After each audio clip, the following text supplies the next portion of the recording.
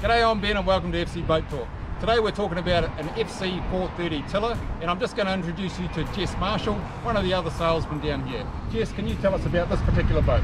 Yep, so this is a 430 standard package. It comes with a 40 horsepower four stroke. Um, also, it has a boarding platform on this one side and a step to get in.